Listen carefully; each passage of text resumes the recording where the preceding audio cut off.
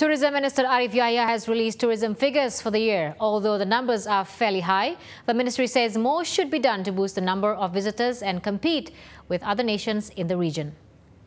The Tourism Ministry targets a total of 10 million visitors for 2015, a figure it believes is realistic in relation to the number of visitors in 2014.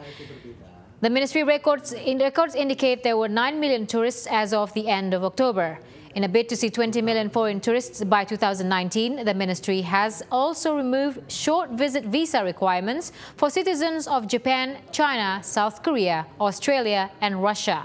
It is hoped that the policy will help Indonesia catch up to Malaysia and Thailand that see 26 and 27 million tourists annually.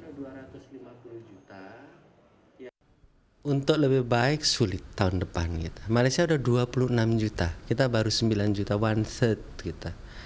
Devisanya Malaysia udah 20 miliar dolar. Kita posisinya sekarang 10 miliar dolar. Bahkan kalau kita tahun 2019 pun tercapai 20 juta, Malaysia sekarang udah 26 juta, Thailand 27 juta. Itulah kondisinya. Jadi saya susah untuk menjanjikan lebih baik. Tapi kalau pertumbuhannya pasti kita lebih tinggi. Pertumbuhannya minimal 15%.